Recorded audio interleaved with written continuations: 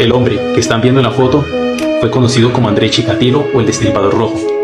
Este carnicero fue el asesino en serie más grande que existió en la historia de la Unión Soviética. Nació en octubre de 1936. Fue conocido por cometer asaltos sexuales. Andrei en su infancia era introvertido, inseguro y acomplejado por su miopía, tanto que utilizó gafas por primera vez cuando tenía 30 años. Tenía una especial timidez con las mujeres, algo que le pasó factura en una relación adolescente la cual se rompió años después por su impotencia sexual. A pesar de su disfuncionalidad sexual, logró dejar embarazada a su esposa y ser padre de dos hijos.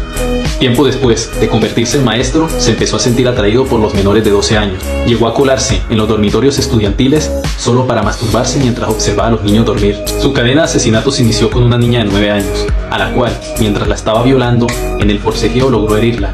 Cuando vio la sangre, sintió una enorme excitación y un deseo brutal de matar a esa niña.